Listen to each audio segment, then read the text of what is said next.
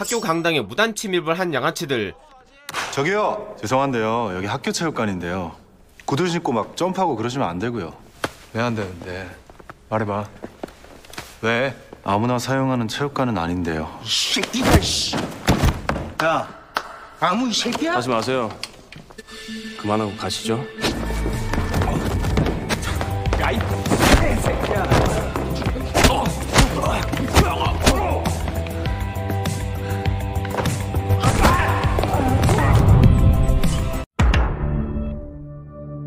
소식을 전하기 위해 뛰어오는 학생들 자퇴했대. 그게 말이 돼? 사준경이 어떻게 복학을 했는데 사준경 부모랑 같이 와서 자퇴했대.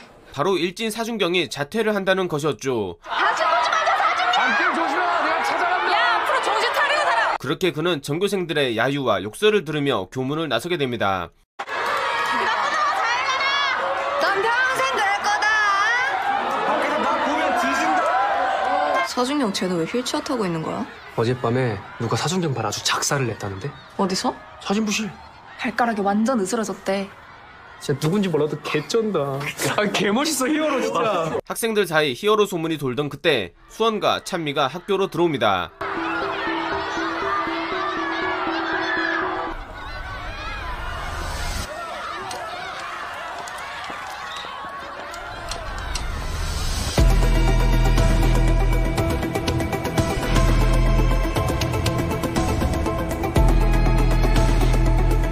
한편 둘의 모습을 보게 된 국지연 저건 또 뭐야?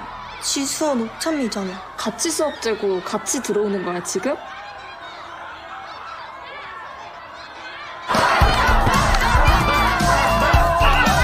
체육 시간 지연은 찬미 옆으로 다가가는데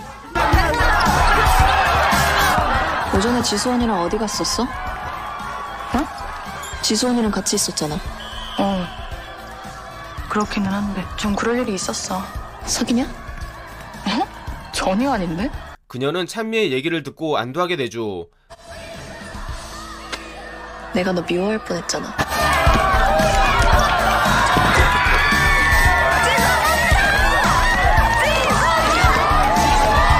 수원에게 환호를 하는 친구들을 보며 자존심이 스크래치된 오성.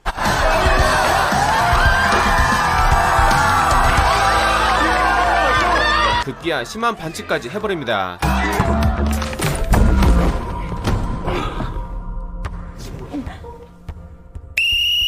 시합 중지! 야, 비켜, 비켜.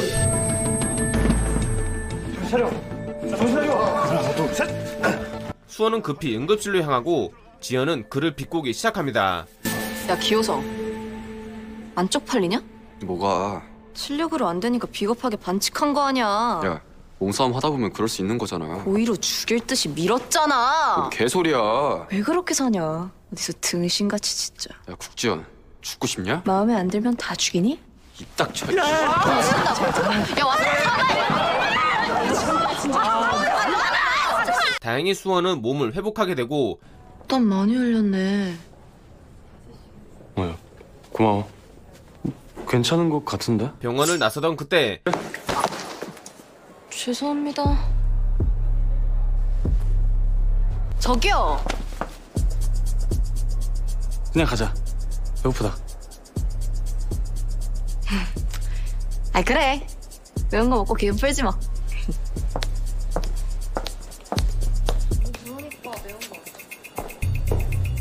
그 시각 자퇴하는 준경을 보며 기쁨에 눈물을 흘리는 선아. 진짜 말 그대로 쫓겨난 거지 이거.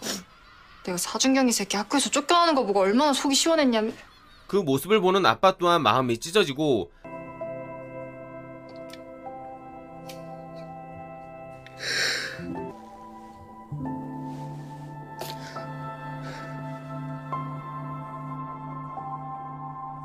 한편 재범의 도움으로 오성을 따로 만나게 된 찬미 재범이 형이 꼭 나가보라 해서 학원 째고 온 거야. 고마워. 그녀는 죽은 박원석 얘기를 꺼내보는데 박원석 있잖아. 우린 친했어. 나한테 잘해줬어. 진짜 좋은 애였어. 좋은 애였다고? 무언가 불편한 기색을 보이는 오성 얘기하기 좀 괴롭네. 친했다면서 알 거 아니야. 그날 무슨 일이 있었던 거야? 그만 얘기하자. 나 갈게. 아, 그...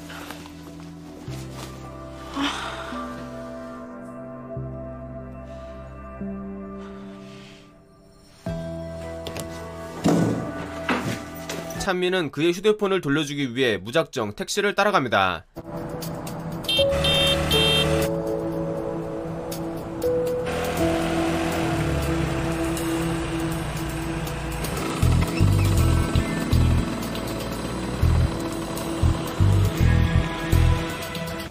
기왕도 기호성 같은 기씨. 집에 도착한 찬미는 배를 눌러보는데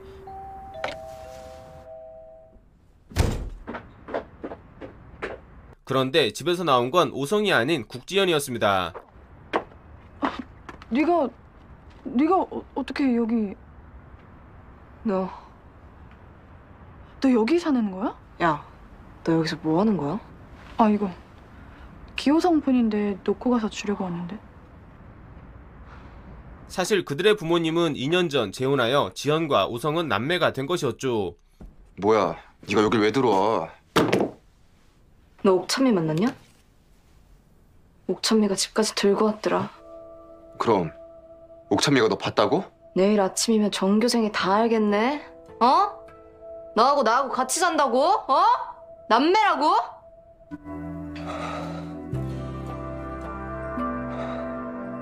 다음날 등교하는 찬미를 기다리는 오성.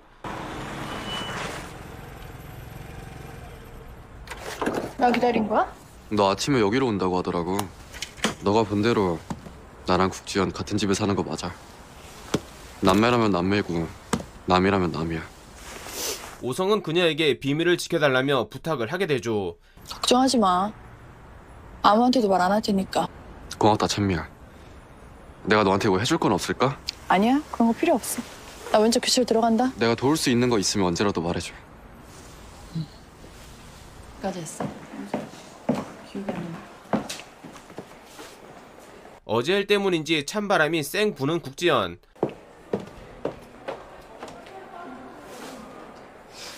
뭐야? 다림질까지 했어? 나 쫙 피는 거 좋아하잖아. 고맙다고. 야, 야. 경찰 왔어, 경찰. 얼마 전 자퇴한 준경이 경찰까지 대동하여 학교로 돌아왔습니다. 사진무실 올라가서 폭행당했을 때 상황 설명할 수 있겠어요? 우리 영웅 잡지 마세요. 마세요.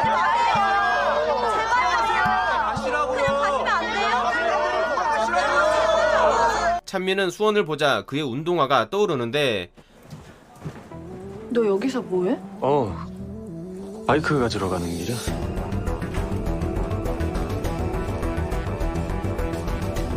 안녕하세요. 사장님, 혹시 지수원 집 어딘지 아세요? 아 수원이 사는데 수원이 체육관위에 사는 거 몰랐냐?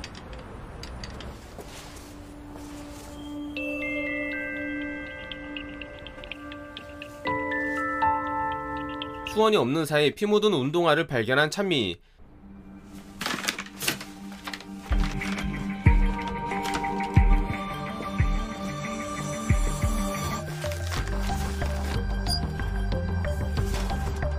그때 마침 두통이 시작된 수원.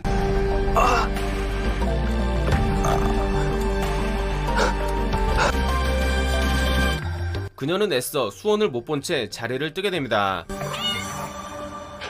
하지만 야옹이 때문에 꼬리가 잡혀버리고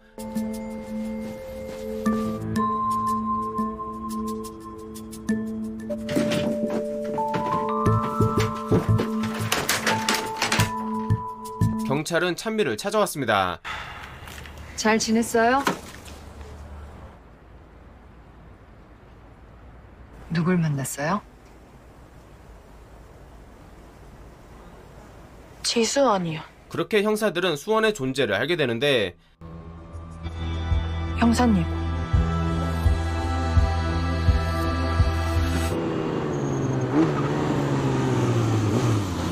다음날 그의 운동화를 돌려주는 찬미. 사과할게. 내가 오해했어. 너 전학 온 이유가 쌍둥이 방원석 죽인 범인 찾겠다고 온 거지? 히어로가 죽인 거 아니니까 원래 다니던 학교로 다시 돌아가. 네가 그걸 어떻게 하는데? 야, 야 지선, 네가 왜 그런 말을 하냐고? 그녀는 수원에게 따지며 교실까지 들어옵니다. 됐으니까 가라. 어? 이게 뭐가 돼? 그 모습을 본 지연이 경고를 해보는데 야 지선, 야, 됐다잖아. 나랑 지선 일이니까 넌 빠져. 무슨 뜻이냐니까? 야, 옥찬미. 네가 비밀 하나 쥐고 있다고 막 깝쳐도 되는 거 같냐? 나 너 비밀에 관심도 없고 다른 애들한테 떠벌릴 생각도 전혀 없어. 그러니까 미리 겁먹고 유난 안 떨어도 돼. 너는 왜 전학을 와서 내 신발에 붙은 껌처럼 안 떨어지고 더럽게 걸리적거릴까? 신발이 껌을 조심해야지. 껌이 뛰어가서 붙었겠어? 그날 밤 범행 도구를 처리하는 수원.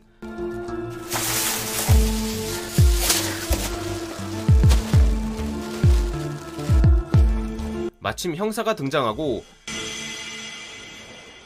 알바 열심히 하네요. 너무 그런 얼굴로 보지 말아요. 오늘은 손님으로 왔어요.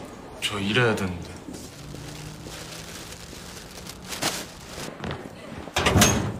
다음날 찬미는 사물함에서 강당에서 만나자는 의문의 쪽지를 발견하게 됩니다.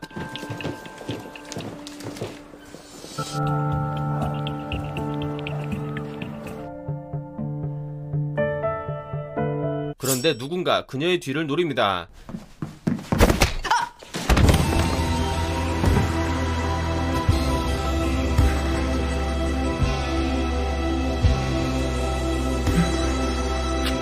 잠시 후 병원에서 깨어난 찬미. 옥찬미! 뇌진탕이었어요. 출혈이 좀 있어서 봉합했고요. 오늘 하루는 경과를 지켜봐야 되니까 안정을 취하도록 하세요. 네, 감사합니다. 근데 너는 광당에 왜 온 거야? 아, 운동장에서 야구부 연습하는 거 구경하고 있는데 너가 강당으로 가더라고.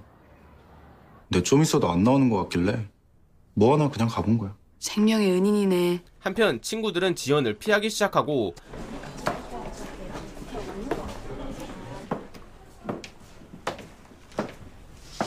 니들 뭐야? 뭔데 이래? 짜증나게 왜 이래? 어, 왔냐? 뭐야 이거? 지금 학교에 짝 돌았어. 알고 보니 그녀의 사진이 학교에 퍼져버린 것이었죠.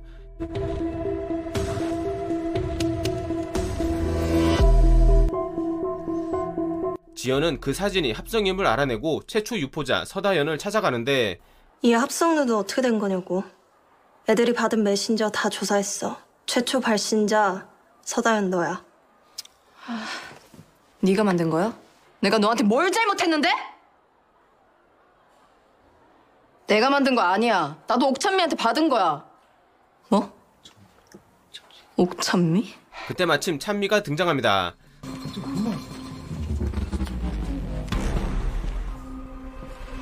이게 진짜 씨.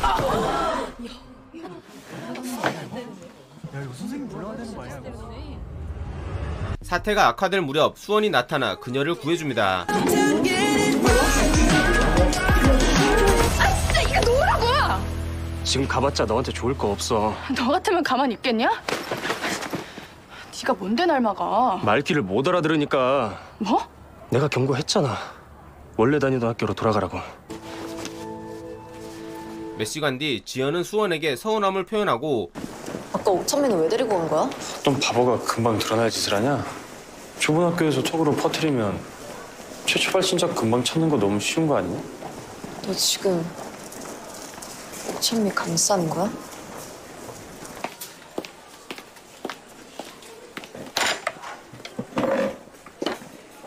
아, 이것들이 촌스럽게 앞서나도 처음 보나? 저 오빠는 또 왜 전현이랑 다니는 거야? 그녀는 찬미가 재범이와 다니는 것도 마음에 들지 않았죠. 고마워. 이 정도 가지고 야, 다음에 밥 사줄게. 뭘로 사주게. 재범은 찬미를 위해 집안 찬스까지 사용하며 강당 CCTV를 확인해 봅니다. 강당 주변이라고 했지? 어제 5시부터 6시까지 네.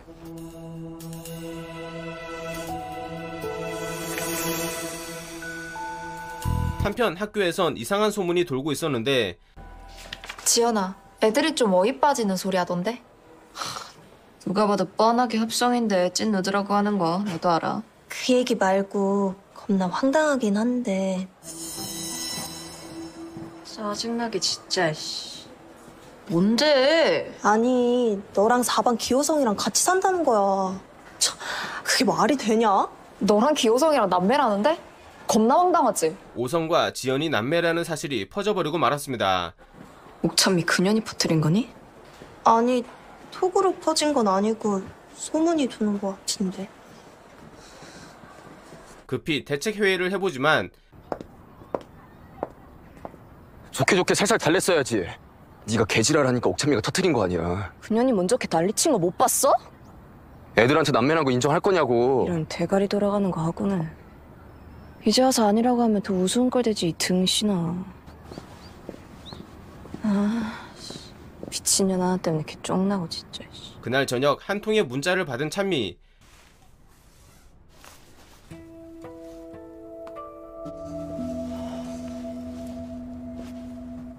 전현이냐? 쌍판이 딱 그렇게 생겼잖아 아주 또 쏠리게 생겼네. 야, 쫄지 말고 일로 와봐. 와봐. 지금 뭐냐? 너랑 나 둘이 할 얘기 있는 거 아니냐? 야 대화는 사람끼리 하는 거고 어디서 인간 같지도 않은 게 사람한테 말을 섞으려고 지랄이야 결국 그녀는 그들에게 다구리를 당해버리죠.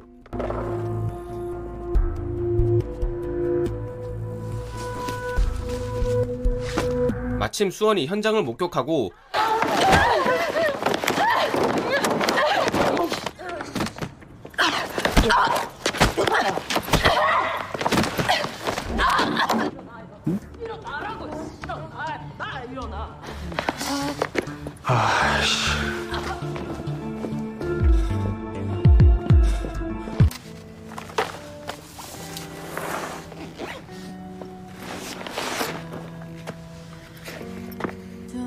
장소에 도착했지만 만신창이가 된 찬미만 남아있었죠.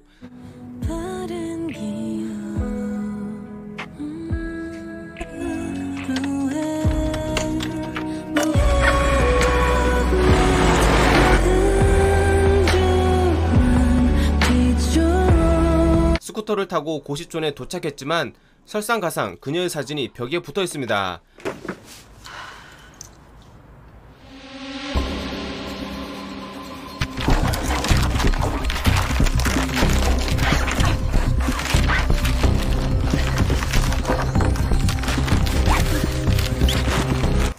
이거 애들이 장난친 거예요. 제가 다 때려 치울게요. 옥참이 널 콕 집어서 미성년자 받았다고 난리를 치더라고. 빨리 올라가서 짐부터 빼. 하루아침에 고시원에서 쫓겨나버린 찬미.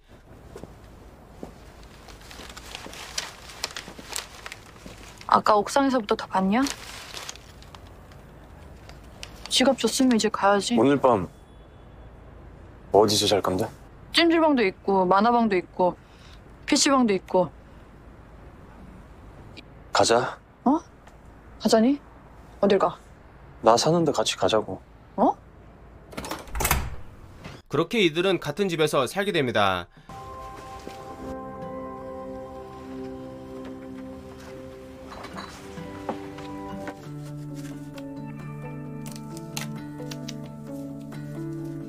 한편 찬미의 휴대폰을 보고 있는 기호성.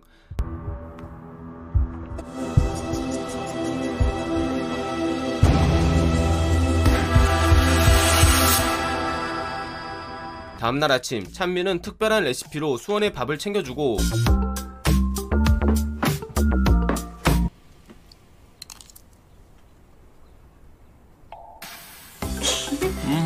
입맛은 거짓말을 못해.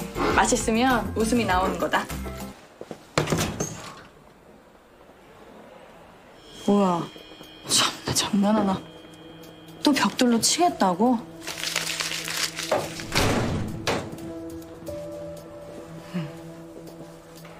지금부터 내가 하는 말은 잘 좀 들었으면 좋겠어. 누드 사진 내가 한 거 아니고 기호성이랑 너랑 남매란 말 입한 적도 없어. 근데 너네 그거랑 상관없이 나한테 계속 지랄을 하겠지? 고시원에서 쫓아내고 누드 사진 붙이고 애들 다 때려와서 다구리하고 또 앞으로 나한테 어떤 지랄을 해도 난 이 학교 절대 안 나가. 뭐야? 어? 응? 뭐야 미친 척하는 거야? 아 나 진짜.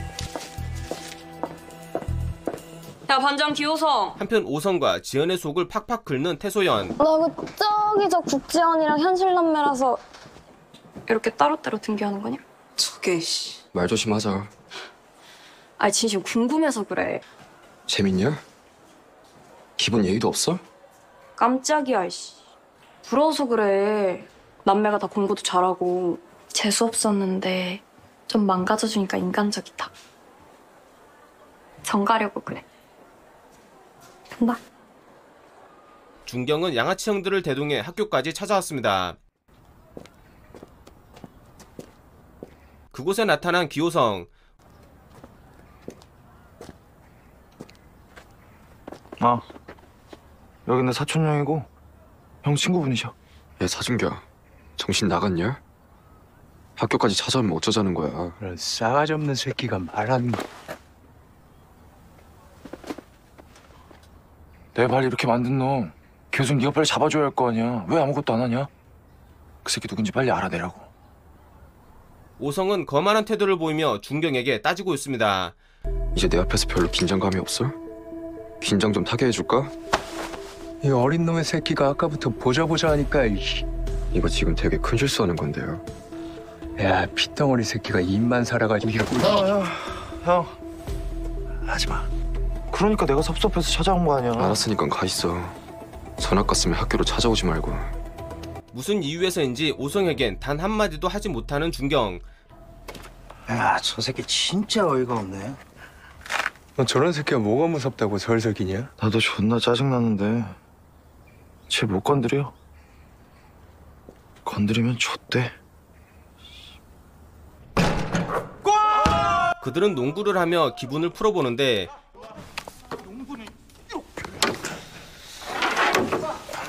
한번 해라. 한번 더. 가서 받아서 그냥 바로 골. 우와! 아, 이거지. 저기요. 그 모습을 본 재범이 정중하게 나가달라고 부탁해보지만 구두 신고 막 점프하고 그러시면 안 되고요. 너 미쳤냐? 야, 이 학교 애새끼들은 왜 이렇게 다 싸가지가 없니? 놀러 와봐. 다시 씹으려봐. 어? 우리가 하면 왜 안 되는데? 응? 하지 마세요. 그때 히어로 수원이 등장합니다. 이 학교 애새끼들 싸가지 없는 건 전통이냐? 장교육 좀 시켜줘? 다시 말해봐. 어? 그만하고 가시죠. 이 새끼가. 괜찮아?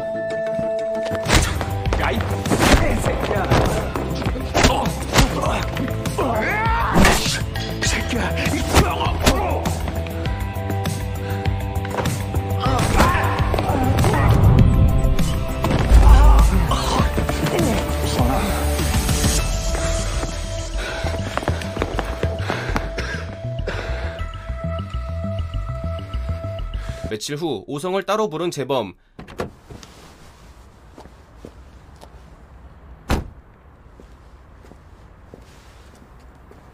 오성아, 많이 기다렸지? 미안하다. 옥천미한테는 왜 그랬어? 무슨 얘기예요? 오성아, 형한테 사실대로 말하지 않으면 지금 우리 대화는 아무 의미가 없어. 내가 이 밤에 뭐하러 널 만나러 왔겠어? 형 무슨 말이야 옥천미가 왜 역시나 오성은 발뺌을 해보지만 그는 빼박 증거까지 가지고 있었죠.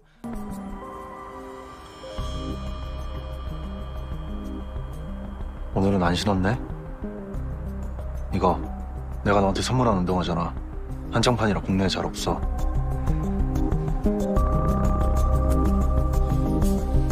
눈에 자꾸 걸리적거리더라고 야, 아무리 그래도 여자의 머리를 벽돌로 치면 그건 아니지, 진짜. 가, 내가 태워다 줄게. 옥천미 걔 진짜 걸리적거리는 거 맞다니까 무슨 속셈으로 우리 학교 전화 갔는지 알아? 죽은 박원석이랑 쌍둥이 옥천미 그렇게 재범은 찬미가 원석의 쌍둥이 동생이라는 것을 알게 됩니다. 언니 저 퇴근해요. 아 수고했어. 한편 알바를 마치고 집으로 향하는 소연. 어이, 백대가리! 아유, 눈을 깔고 그래. 아까 나도 씩씩하더만. 꼴값 싸고 있네. 그녀 앞에 지연 패거리가 등장합니다.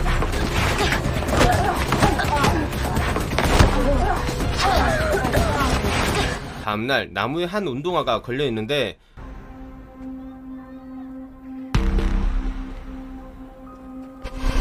형 거기서 뭐해 어 우성아.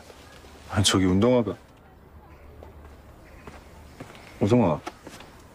너 신발. 아. 어제 형이 서운해하는 거 같아서 신고 왔지. 근데 저기 운동화가 왜? 어떤 미친 새끼가 저지랄 한 거야? 어라? 한정판이네? 국내 잘 없네. 오성은 세상에 미친놈이 많다며 재범에게 은근슬쩍 경고를 해줍니다. 세상에 미친놈 많아 그치요?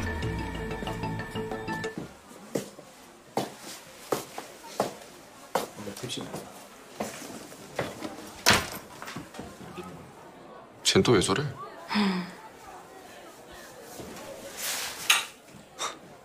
미친 별 또라이 같아 야 봤냐? 쪽지를 받고 사격장에 도착한 찬미.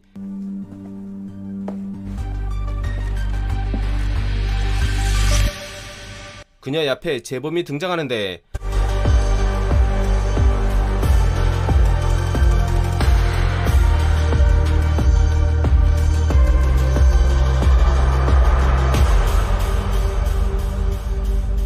소개해드린 작품은 3인칭 복수 3, 4화 줄거리를 요약한 리뷰 영상으로 본편은 디즈니 플러스에서 감상하길 추천드립니다. 지금까지 무리남이었습니다.